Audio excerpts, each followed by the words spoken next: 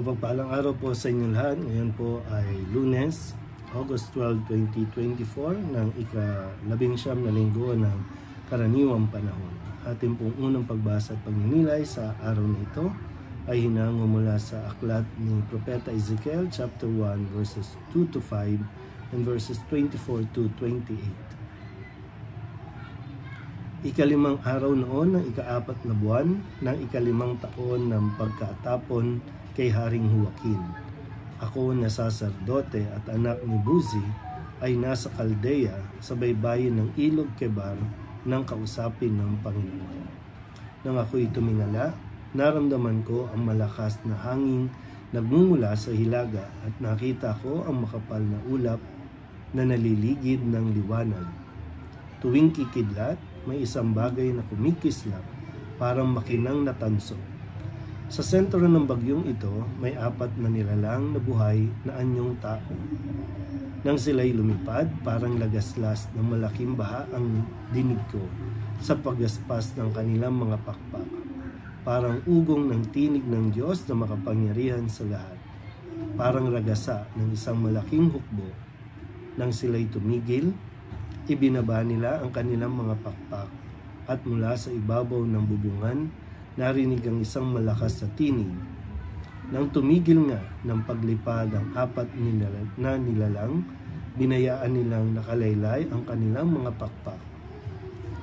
Sa ibabaw ng bubungan, naroon ang tila tronong yari sa sapiro at may nakaupong animoy tao. Mula sa baywang nito pataas ay may nagniningning na tila makinis na tanso. Sa ibaba naman ay may nakapalibot na apoy na nakasisilaw na ang kulay ay parang bahaghari. Ganyan ang katulad ng kaningningan ng Panginoon. Ang salita ng Diyos. Muli po isang mapagpalang araw sa inyo pong lahat. So, ngayon po ay sinisimulan natin ang unang pagbasa na mula sa pangangaral ni Propeta Ezekiel, anak ni Buzi. At makikita natin sa uh, aklat na ito yung mga pangitain na ipinapahayag sa kanya ng Panginoon. Uh, si Propeta Ezekiel, ayon sa uh, paunang salita no, na mababasa natin sa Biblia, ay nabuhay sa panahon ng pagkakatapon sa Babylonia bago at matapos bumagsak ang Jerusalem noong 586 BC. Ang kanyang mensahe ay para sa mga itinapon sa Babylonia at sa mga naiwan sa Jerusalem. May anim na pangunahing bahagi ang aklat na ito ni Propeta Ezekiel. Una ay ang pagkatawag ng Diyos kay Ezekiel no, sa pamamagitan nitong mga pangitain na ito. Kaya yung chapter 1 ay patungkol sa pagtawag ng Diyos kay Ezekiel.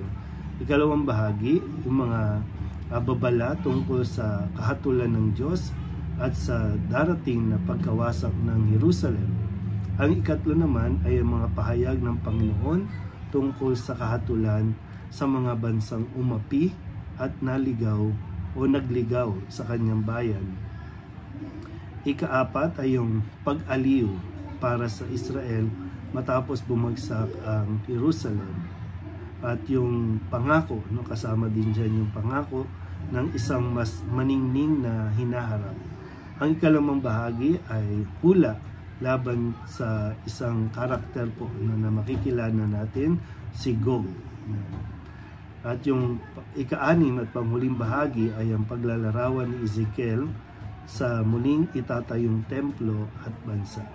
Kasi Ezekiel, si Propeta Ezekiel ay may matibay na pananampalataya at malawak na imahinasyon. At karamihan po sa kanyang mga isipan ay dumating bilang mga pangitain at inihalal niya o inilahad niya ang karamihan sa kanyang mga mensahe sa pamamagitan ng mga sagisag, mga halimbawa.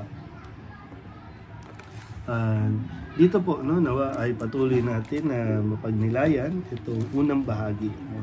Simula pa lamang tayo at nawa ay pagtuunan natin ng pansin yung mga mensahe na ipinahayag din noon-noon pa na applicable naman maging sa panahon natin ngayon.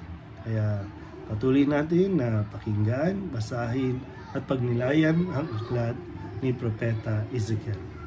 Muli po, isang mapagpalang araw sa inyo pong lahat.